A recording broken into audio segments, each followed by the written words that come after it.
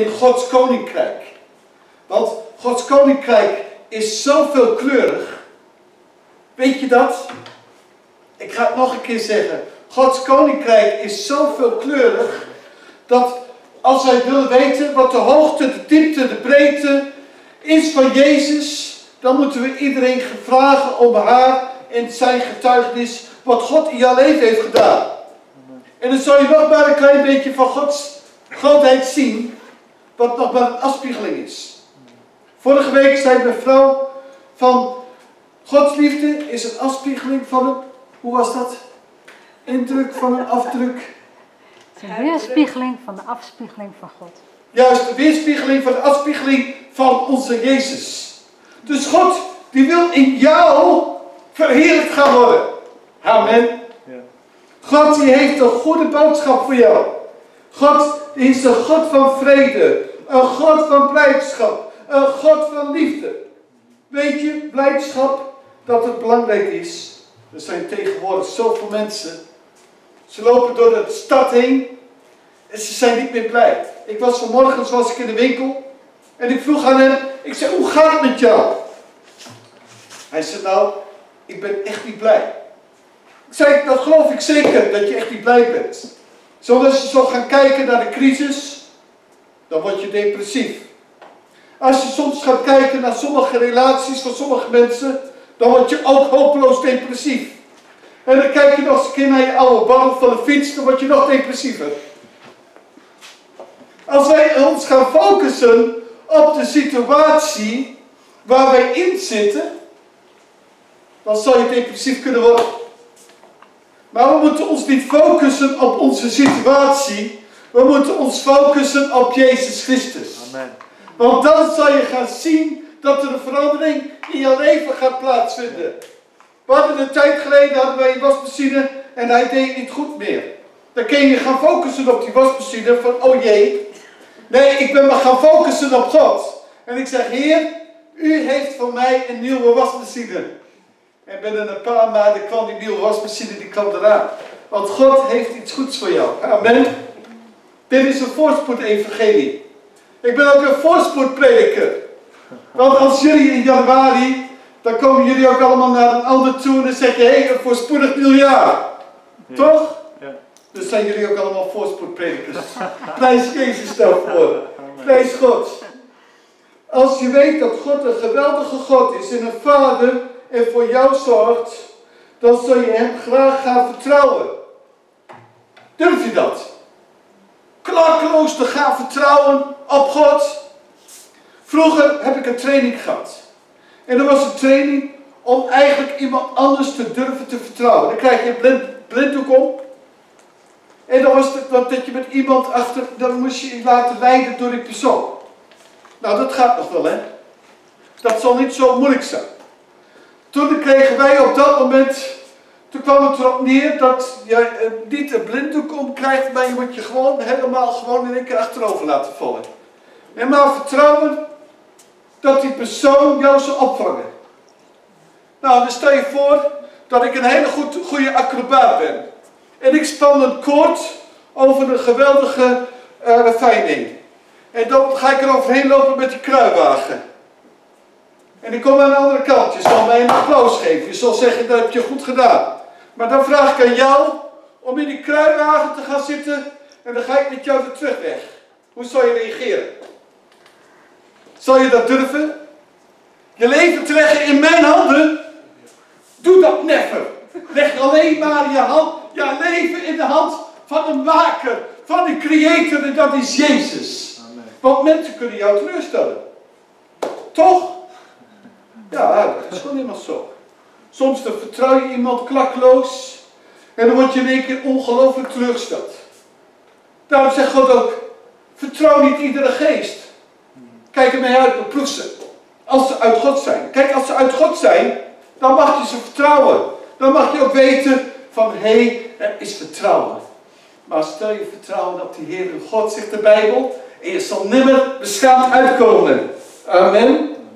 En dat is zo mooi, hè, als je kan vertrouwen op God. Dan krijg je blijdschap in je hart. Dan word je blij. En deze man ook, waar ik even van afweek.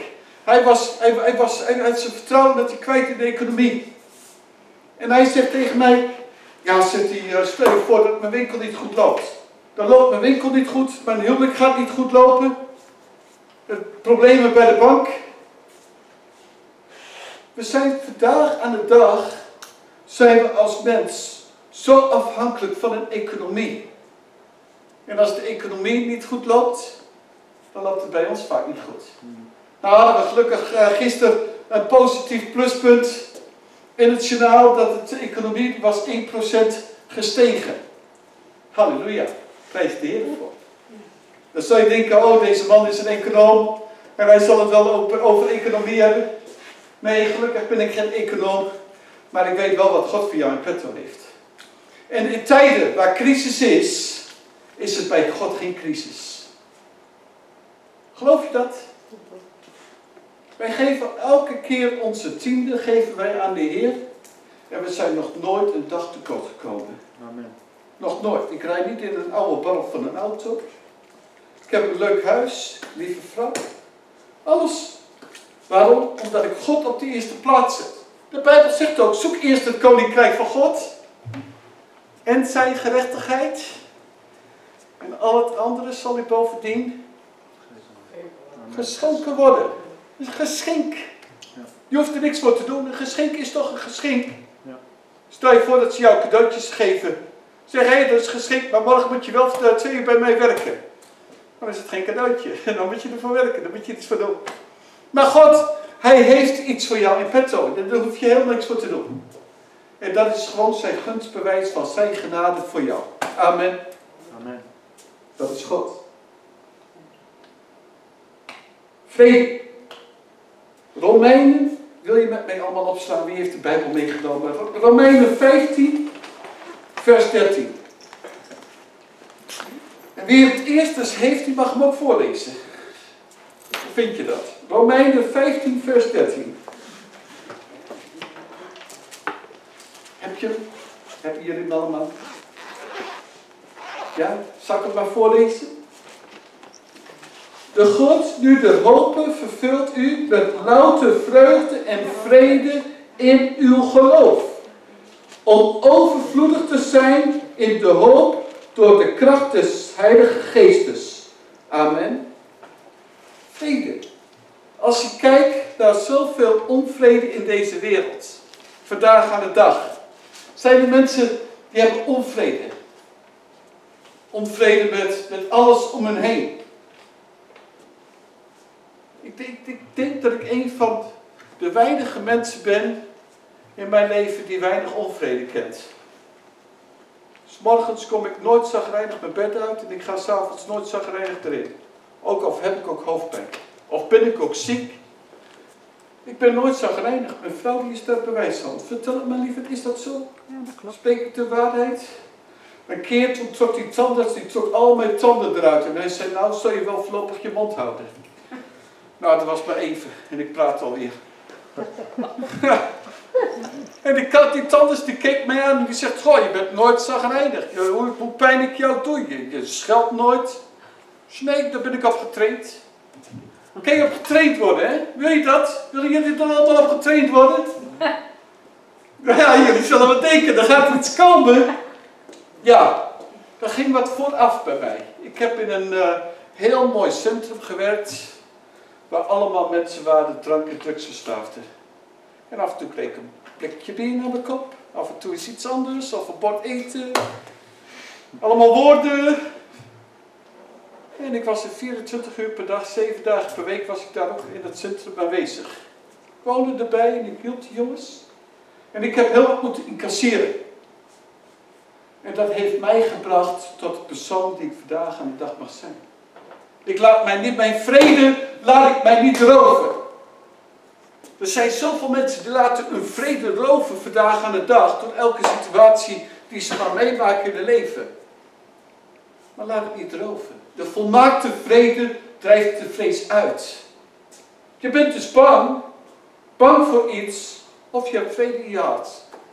Kun je easy life krijg je dan. Dan wordt het makkelijk leven. Amen. God wil dat ook. Waar kan je voor geloven? daar wil ik het vandaag ook met je over hebben. Over het geloof. Wat is eigenlijk het geloof? Ik had vandaag iemand naar de lijn. En ik zeg zo tegen deze persoon, ik zeg luister, het geloof is geloof. Ja, maar. Geloof is geen gevoel. Toch? Geloof is geloof. Zo makkelijk. Kijk, dan is het door geloof ben je behouden. Dus als jij het geloof hebt in Jezus, dan ben je behouden. Ja, sommige mensen, ja, ik, ik, denk, ik denk dat ik misschien wel een kind van God ben. Ja, ik kom één keer in het jaar, kom ik toch nog naar de kerk toe, met kerst en met Pasen. Bijvoorbeeld. Dan ben je er niet. Dan zal je er niet zijn. Geloof is iets anders. Geloof is geloven in de levende God dat hij voor jou naar de kruis is gegaan. Geloven dat hij daar is gaan hangen voor jouw ongerechtigheid, voor jouw zonde. Om jou in de vrijheid te stellen. Want God die wil jou in zijn vrijheid stellen. God die heeft een goede vrijheid voor jou. Geen slavenjuk. Er zijn zoveel mensen die laten zich vandaag een slavenjuk opleggen. Door allemaal kritische geesten. Een fariseer zal jou een slavenjuk op gaan leggen. Maar Jezus is gekomen om jou een leven in overvloed te geven. Hij is gekomen om een nieuwe licht te geven op jouw leven. Een nieuwe licht dat jij mag wandelen vandaag aan de dag in genade. Genade is een risico, weet je dat? Het is een risico die genade te aanvaarden.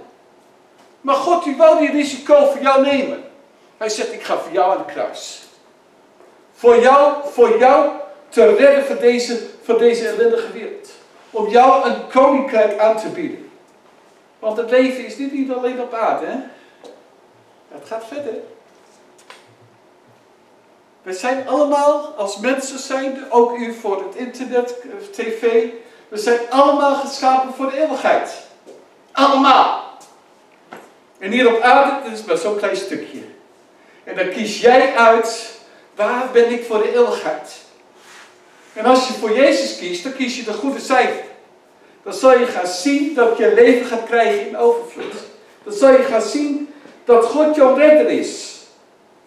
Dan zal je gaan zien dat God iets voor jou heeft. Matthäus 18, vers 14.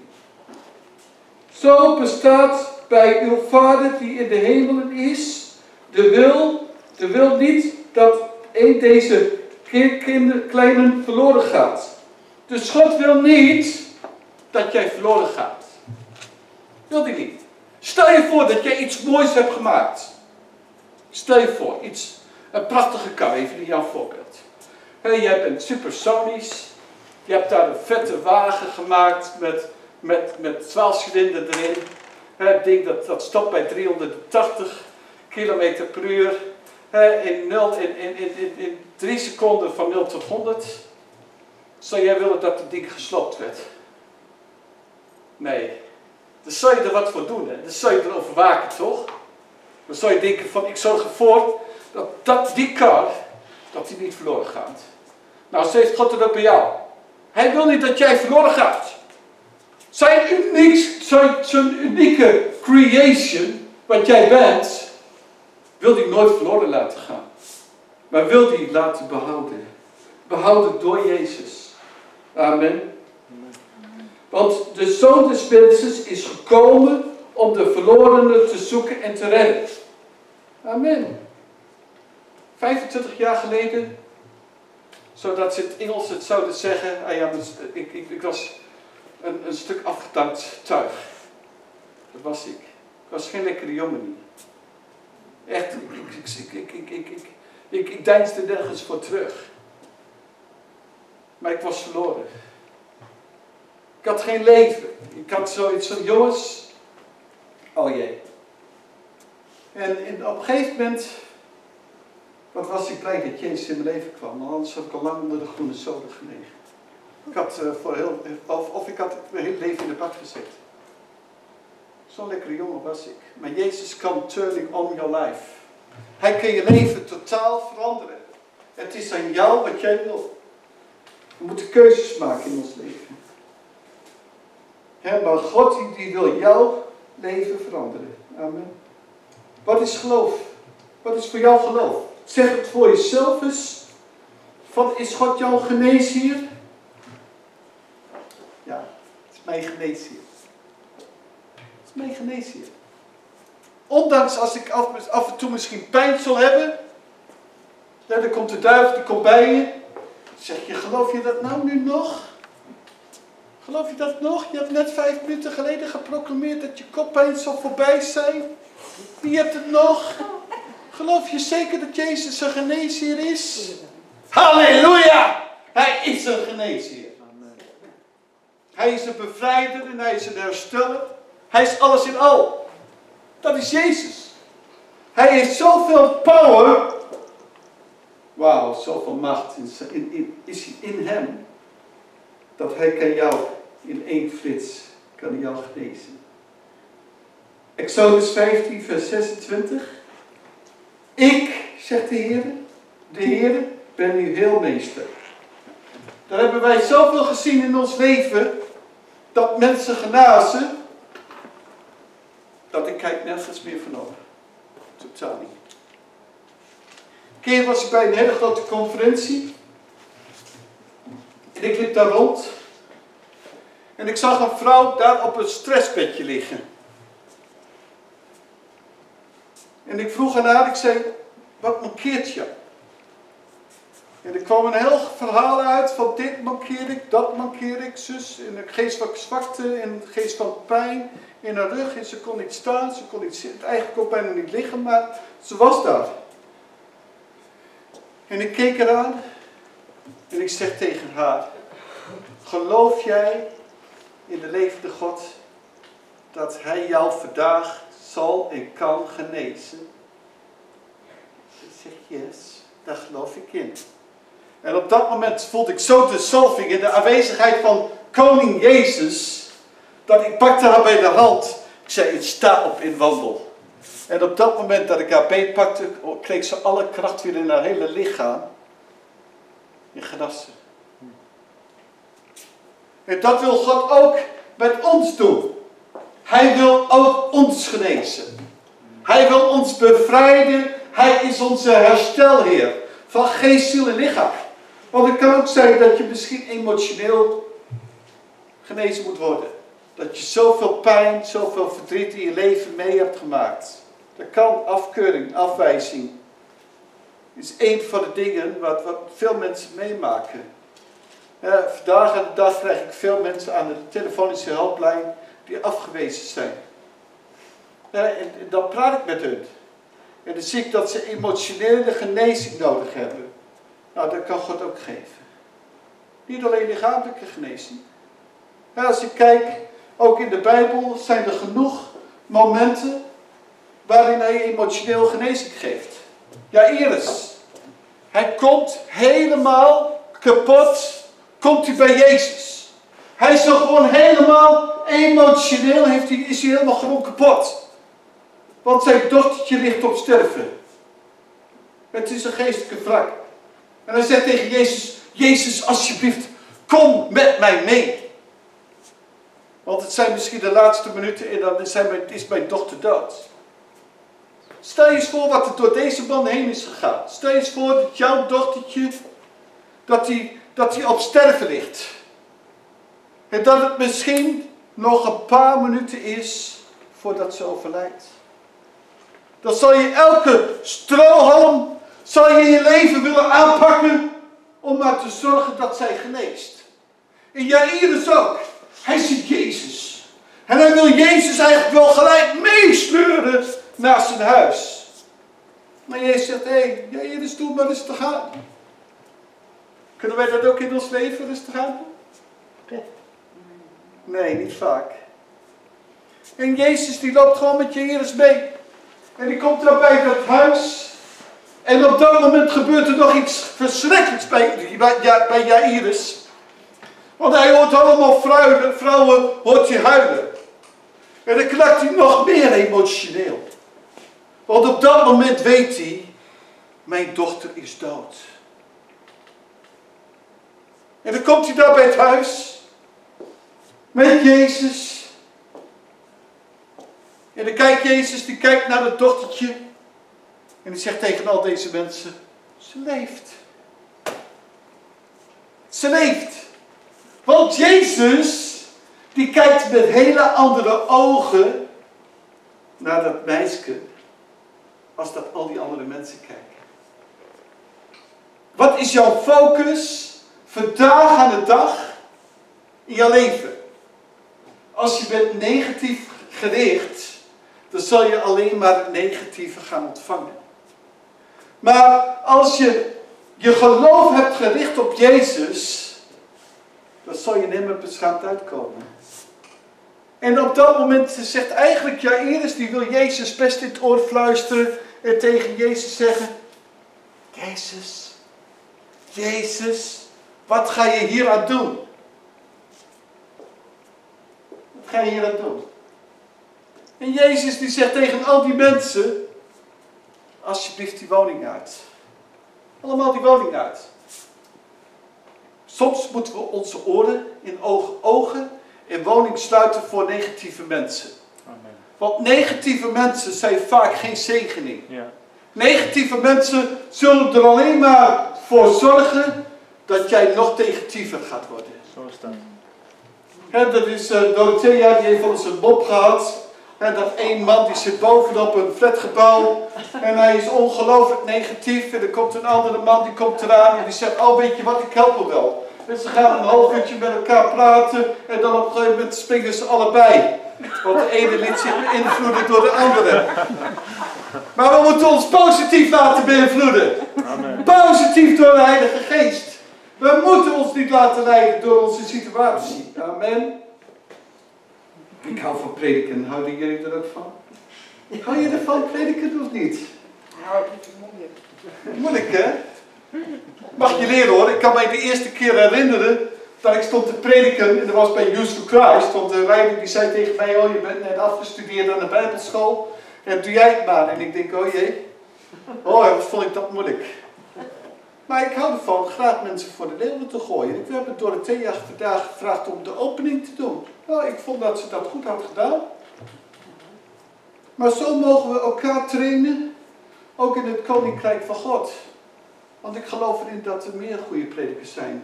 En dat die jonge mensen mogen opstaan. Amen. Dat die jonge mensen mogen leren om te prediken. Want dan kunnen wij als oudjes gelukkig eens een keer aan de kant zitten. Het oude moet toch altijd eerst toch? Huh? Het oude moet toch altijd toch? Ja, in principe wel. Weten jullie het woord van proclamatie? Wie kan daar het begrip van? Daar wil ik het vandaag ook met jullie over hebben. Je denkt van nou die man die springt van de hak op de tak. Maar proclamatie hoort bij het geloof. Weet je wat proclamatie is? Ga ik je het uitleggen. Proclaim. Ken je dat woord? In het Engels? Het, God sprak en het was er. In jouw Bijbelboek, in Genesis, sla maar eens op. God sprak. Wauw! God sprak! Hoor je dat als ik spreek? Hoor je het ook, hè? Daar vandaan, daar vandaan. Ik denk toen God sprak, dat die stem door de ganse heelal heen ging. En het heelal was onheilig. Maar geloof je erin dat het heelal heeft oren? Geloof erin. En de Bijbel zegt, wie horen heeft, die horen. Geloof je dat een eh, muur oren heeft? Nee hè? Ik wel. Ja, je moet er af en toe wel een beetje gek voor zijn hoor, om dat te geloven. Serieus. Maar die muren van Jericho, die hadden dat ook. Ze kunnen wel horen, dus maar ze hebben geen mond. Maar als ze gaan spreken, word je gek. Ja, nee, ze, ze moesten ook niet spreken, hè? ze moesten zich stilhouden. Hè? Maar je moet voorstellen, God sprak en het was dat. Dus als wij spreken, dan kan er ook iets gebeuren in jou. Nou, het kan zijn dat een jongen een meisje ziet dat de jongen tegen dat meisje zegt, van, ik hou van jou. Dan gebeurt er ook iets. Begrijp je? Als je op straat loopt en je komt iemand tegen, je zegt tegen die persoon, nou jouw hoofd die staat mij niet aan, even netjes gezegd. Dan kan er ook iets gebeuren. Dan geeft het bepaalde actie weer terug in je leven. Nou, zo was het ook met God sprak en het was er. Dus dat is een proclamatie van het spreken. Dus jij kan met jouw spreken, moeten we soms voorzichtig zijn. Jacobusbrief die heeft het erover. Een klein lid, die tong. Maar kan veel in beweging zetten. Nou, dat gebeurde vroeger, gebeurde dat af en toe wel, als ik voor de, voor de rechtbank stond. De rechtbank, die, de rechter, die wou mij wel bijna over het ding heen halen. Zo lieflijk, zo lieflijk was ik met mijn spreken. Ja, dat kleine tongetje, die kan heel veel in beweging brengen. Maar wat doen wij met onze tong? Wat spreken wij uit? Ja, misschien klinkt het niet helemaal positief en denk je, ja, ja dat is, ja, spreken, positief spreken, dat is ook een beetje nieuw aids. Nee, proclamatie is hardop de Bijbel voorlezen. Hardop. Ik noem iets. Dus als ik gebrek leid in mijn dagelijks leven, dan, dan ga ik bijvoorbeeld zeggen, oh Heer, uw woord is overvloedig voor mij. En u heeft mij beloofd een leven in overvloed. En ik zal niet, ik zal niet de kop, ik zal niet de kop, ik zal niet de staat zijn, maar ik zal de kop zijn. Begrijp je wat ik bedoel? Je kan, je kan zelf, kan jij je positief beïnvloeden met het woord van God. Wanneer jij een tekst hardop gaat lezen, zal je gaan beseffen hoe krachtig het woord van God is. Amen. Want de schepping, de aarde, de hemel en de dieren enzovoort zijn allemaal ontstaan doordat God sprak. God sprak. Moet je nagaan. Wauw. In Genesis 1 vers 3 en God zeide er zij licht en er was licht. Dus God heeft een grotere kracht in het gesproken woord gelegd. Prachtig! Hoe ga je ermee om? We kunnen ook negatief praten. Als je, als je goed luistert naar al die mensen, ga maar eens op het terras zitten. Eens op het terrasje zitten. Dan hoor je allemaal verschillende mensen hoor je om je heen praten. Ja? Nou, dan hoor je de ene die hoor je over hun financiën. De ander over hun lastige kinderen. De ander over hun lastige schoonmoeder. Ga zo maar door. Kijk, er was één man op aarde. Dat was de allergezegendste man op deze aarde. Weet je wie, wie dat was? Wie de allergezegendste man op deze aarde was? Wie zal dat geweest zijn? Job. Job. Nee, bijna. Abraham. Hè? Abraham. Nee, Abraham ook niet. Jezus. Adam? Hè? Adam? Adam, ja, dat klopt. Adam, want hij had geen schoonmoeder.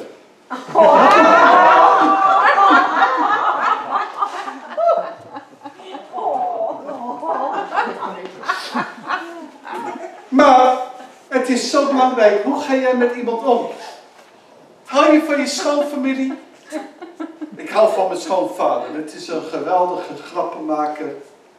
En het is een man vol humor. Ja, geweldig. En ik prijs de Heer ervoor. En, en ik heb helaas geen, mijn schoonmoeder heb ik niet gekend, want die was al heel wat jaartjes er niet meer. Maar deze man is zo vol humor en zo positief. Dan komen ze bij zijn stomerij, vraagt ze aan hem, hé hey Halsema, wat ben je nou geworden? Oh, zegt hij, ik moet nog drie jaar met nog met werken. En deze man die is al meer dan, die is 88 jaar, die werkt elke dag nog. Maar de vreugde van God is zijn kracht. Begrijp je wat ik bedoel? Als jij zagrijnig bent, is neurig. En je loopt elke dag rond. Dan zal dat invloed hebben op jouw geest. Kwijnende geest heeft de Bijbel het over. Sommige mensen die hebben gewoon echt een kwijnende geest. En mijn moeder die was met iemand getrouwd en die mopperde elke dag, nou, drie, vierhonderd keer minimaal. Jongen, jongen, jongen, dat was erg. Op een gegeven moment heb ik tegen mijn moeder gezegd, ik zei tegen deze man, ik zei, ik kan er niet tegen, ik ga weg. Ik ga het huis uit. Soms moet je je verwijderen van mensen die gewoon heel erg negatief zijn. Soms moet je gewoon die, negatieve, die negativiteit, moet je gewoon eigenlijk wel eens afkappen. En gewoon eens zeggen van, ik breek daarmee. Ik wil daar gewoon mee breken. Hè, want dit, dit is niet van God. Weet je dat? En, en verwissel dan je negativiteit in vol geloof. Wauw. Als je al je negativiteit inwisselt voor geloof, dan moet je eens gaan kijken wat er gaat gebeuren. Dan gaat je leven gaat een enorme verandering bij maken. Want zo is dan het geloof uit het horen en, en door het horen het geloof van God. Amen. Geloof hebben in God. Geloven dat God ook in jou gelooft. Amen. Wie durft dat vandaag te zeggen? God gelooft in mij. Wie durft dat te zeggen? God gelooft in mij. Halleluja. Weet je dat God in jou gelooft? Weet je waarom, waarom God deze aarde heeft gemaakt? Weet je waarom? Waarom heeft hij de aarde gemaakt? Waarom? Voor jou. Voor jou. Waarom heeft hij die ezel geschapen? Voor ons. Voor jou. Waarom heeft hij die bomen gemaakt? Voor jou. Voor jou. Voor jou. Specially for you. Helemaal voor jou. Omdat hij een plan had met jou. Een plan om niet zelfzuchtig te zijn, maar een plan om deze aarde, dat het vol werd van de, van de glorie van God. God die wou dat. Hij, wou, hij, hij had een paradijs had hij al geschapen. Een geweldig paradijs. Wauw! En toen kwam die influistering van eend. Zal je dat wel doen? De slang. Shh. Shh. Hebben we vandaag aan de dag nog mee te maken? Ja, maar waarom? Ja, ik vond me zo zielig. Ja. Ja, ik kan niet zonder die drugs. Ik kan niet zonder dat sigaretje. Ik kan niet zonder de drank. Ook mee te maken. Mens, leef. Ga niet overleven, maar leef. Mogen leven. God heeft jou een leven in overvloed gegeven. Amen.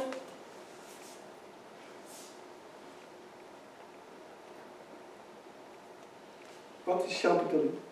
Vandaag in jouw leven. Waar, waar gaat jouw koers vandaag naartoe? We hebben allemaal toch een plan in ons leven. Voor jij, je bent jong, ambitieus. Je wil nog iets maken van je leven. Of not? Toch? Dat is ouderspesten. Auto's wassen. Nee, dat is een ouderspesten. Zijn ouders pesten. Ja, dat is ook een sport. Flink de bloed onder de nagels proberen weg te halen. Gewoon trainen, kijken, kijken hoe ver ze zijn in de liefde, hè? Ja, toch? Ja. Nou, kijk, het is niks mis mee, hè? Je mag, je mag echt af en toe in liefde je broeder en zuster eigenlijk eens een keer kijken hoe ver ze zijn. Dat doe ik af en toe wel. Ik leer af en toe mensen. En dan zegt mevrouw, hou op. Doe normaal, want je bent voorganger. Dan heb ik haar helemaal te pakken. en dan zegt, nee, ik ga even door. Want je zal gaan zien dat die mensen gaan erop reageren. Kunnen positief reageren, negatief. Ga ervan uit dat ze negatief reageren. Dan heb je al 75% heb je al in je broekzak. Weet je al van, hé hey jongens, ze kunnen alleen maar zo. Ik, ik, was van de week op de markt en ik had een vrouw naast mij en ze had dan theologie gestudeerd en allerlei, uh, allerlei dingen er nog bij. En ze was ook afgestudeerd en ik kreeg even een gesprek met haar, maar ze vond het helemaal niet zo leuk. Want ze had gelijk door dat ik een evangelische christen was. En het probleem bij haar was, ze wist de Bijbel wel, had de Bijbel van A tot Z had ze gebestudeerd in alle religies in haar leven. Ze was dan ook nog een keer uit het Jodendom was ze gekomen, want ze was dan ook nog Jood. Ik zei, nou, ik zei, dan kan ik jou een hand geven, want dat ben ik ook.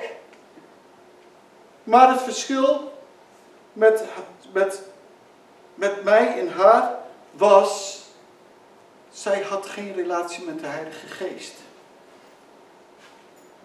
Ze had geen relatie met de Heilige Geest. Die hebben we zo hard nodig in ons dagelijks leven.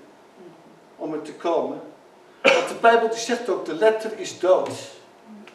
Maar de geest maakt levend. Dus wat hebben we nodig? De Heilige Geest in ons leven om tot ontwikkeling te gaan komen. Als Jezus al geboren is door de Heilige Geest en hij wandelde in de Heilige Geest en door de Heilige Geest heeft hij zichzelf kunnen geven aan het kruishout van Golgotha, dan zien wij ook in ons dagelijks leven dat we die Heilige Geest zo, dat hij zo important person is in ons leven, dat we niet zonder hem kunnen. Want als hij, als hij niet zo belangrijk was geweest, ja, dan, dan hadden we hem niet nodig gehad. Maar we hebben hem zo dermate nodig. Kijk, en al die andere mensen die proberen te leven vanuit de letter. Letter. Jij probeert je te houden aan de wet die je moeder in de keukenkastje heeft hangen. Ja, of heeft of heeft ze ook niet? Hé, hey, dat is een goed idee, man. Doe dat eens. Hij leest natuurlijk niet, hè? Nee. Hangen er niet eens. Nee, hangen er niet eens. Maar begrijp je, dan hebben we te maken met een letter, met een wetje. Maar weet je, als mensen in de kerk problemen hebben, en dat mensen bijvoorbeeld misschien gullig de kerk uitgaan, dan heeft het vaak te maken met geen genoeg liefde te hebben. Soms dogmatisch te kunnen zijn, van oh jij dat, jij dat, is jouw zus is zo. Bij God is geen veroordeling meer. Maar Jezus houdt te veel van jou om jou niet te veranderen. Hij wil jou graag veranderen. Maar dat gaat automatisch. Als ik kijk naar mijn eigen leven. Oh, de eerste half jaar, jongens, ik kreeg gevoel in mijn lichaam. Ik liep op een gegeven moment in de stad en ik deed dit. Dus ik zei, vader, ik heb gevoel in mijn lijf. Oh heer, alsjeblieft niet, laat mij die robot blijven. Gevoel, oh, ik vond het verschrikkelijk. Als iemand mij een klap voor mijn kop gaf, vond ik helemaal niet erg. Kreeg die van mij twintig terug. Begrijp je wat ik bedoel? Het was keihard. Maar op dat moment er komt Jezus in, in je leven. En dan, moet er, dan gaat er iets gebeuren. Dan gaat eigenlijk al jouw persoonlijkheid, dat brokkelt langzamerhand brokkelt dat af. En dan ga je dingen voelen in je leven. Dan word je aardiger. En dan denk je, ik wil helemaal niet aardig zijn. Wil zijn. Ik wil, gewoon met, ik wil me gewoon hard blijven. Ik wil, niet, ik wil niet die watjes zijn. Dat hebben we heel vaak. Hè? We denken vaak als wij... toen in die tijd ook. Ik, ik was gewoon de kei. Als ik in de discotheek kwam, dat geluid werd uitgedraaid. Hé, hey, Hansje Blauw. Nou, dat gebeurt vandaag en dat niet zoveel meer. Vroeger toen die tijd ook niet. Maar als Jezus in je leven gaat komen, dan gaat er iets gebeuren. En dat gebeurde bij mij ook. Ik, denk, ik nam afscheid van de wereld. De wereld werd voor mij een vijand. En God werd voor mij mijn vriend, mijn persoonlijke vriend. En hij kon mijn leven totaal veranderen. Dat duurde wel tien jaar. Echt, ja, echt, echt, dat duurde ongelooflijk lang. Tien jaar heeft het minimaal geduurd voordat ik mijn uh, taal een beetje in orde had. Want ik kon echt niet normaal praten. Er was echt uh, een behoorlijke praat in mij. En fatsoenlijke woorden die kwamen er nooit uit. Maar, maar God die veranderde dat. En zo is het ook bij, bij jou en in mijn leven. God kan jouw leven drastisch veranderen. Drastisch. Als we maar willen geloven in de levende God. En ons willen overgeven aan Hem. Dan ga je zien het volmaakte werk van Koning Jezus in je leven. En dan zal hij gaan spreken door jou heen. Dan zal je gaan zien van, hey, wauw, moeilijkheden worden veranderd. Dan mag je gaan wandelen in geloof. Handelen in geloof. Standvastig zijn in geloof. En net als Abraham, blijven hopen en geloven in geloof. En dat was voor Abraham ook best niet makkelijk hoor, het geloof niet. En er komt er iemand die komt naar hem toe die zegt van hé Abraham, jouw vrouw die gaat nog een kind krijgen. En Abraham lachte. Ja. Want zijn vrouw, haar bron was al lang opgedroogd. Ze was al lang in de overgang. Nou, en dan op dat moment dat iemand naar je, naar je toe komt en zegt je vrouw, die krijgt nog een kind. Nou, Abraham die geloofde dat eigenlijk ook niet. Zo hebben wij wel eens in ons dagelijks leven dat we het best moeilijk vinden, wat Jan ook al zei, om te geloven. En dan zullen we af en toe best wel eens een keer boos zijn op God. Abraham was het ook. Zegt van, oh, wanneer doe je dat dan? Ik wacht al zo lang, zoveel jaren. En hij werd een beetje ongeduldig. En hij denkt, als God het niet doet, dan ga ik het wel zelf doen, op mijn manier. En dat hebben we allemaal wel eens een keer. Dat we het op onze manier willen gaan doen. En niet op Gods weg, maar op onze weg. En, en dan uiteraard, dan wordt Sarah, die wordt toch nog zwanger. Want God liegt niet. God kan één kan hij niet. Dat is liegen. Kan hij niet. God kan niet liegen. kijk, misschien heb je in het verleden uh, profetieën gehad. En dat je denkt van ja, maar hier, waar blijft u nou dan met uw woord? Dat kan. Moet je nagaan als het een goede profeet is geweest of niet. Je naar gaan kijken. Maar als het een goede profeet is, dan dank je God, want dan zal het uit gaan komen. Dan zullen de situaties gaan uitkomen. Of de, de dingen die God gezegd heeft. En misschien is het geen goede profeet geweest. Nou, dan druk je het wel in de prullenbak. Zeg je, heer, als het echt zo is dat u gesproken heeft, dan houdt die woordstand. Dan zal je ook gaan zien dat het toch nog uit gaat komen. En dan zeg je, oké, sorry vader, ik heb getwijfeld even aan uw profeet en nou nu. Maar het is toch uitgekomen. Er is niks mis mee. Maar als God dat je spreekt, doe dan één ding en wees gehoorzaam. Gehoorzaamheid is belangrijk in ons leven. Echt waar. Want dan zul je gaan zien, als we gehoorzaam zijn, dat God situaties in je leven gaat veranderen. En dat Hij jou gaat brengen op een hoger niveau van Zijn wijsheid, van Zijn liefde en van Zijn kracht. en dan zal je zien dat Abraham ook, hij zei later ook tegen God, sorry vader, dat ik niet op je vertrouwd heb. En misschien moeten wij vandaag ook wel sorry zeggen tegen God dat we ons niet hebben laten leiden door Hem. Misschien moeten we wel sorry zeggen dat we ons leven nog niet aan God hebben gegeven. Maar gelukkig kan je nog sorry zeggen. Gelukkig heb je nog die mogelijkheid om je leven toe te wijden aan Jezus. En dan zal je gaan zien dat je leven volkomen veranderd gaat worden in de naam van Jezus. Amen. Oké, als die mensen zijn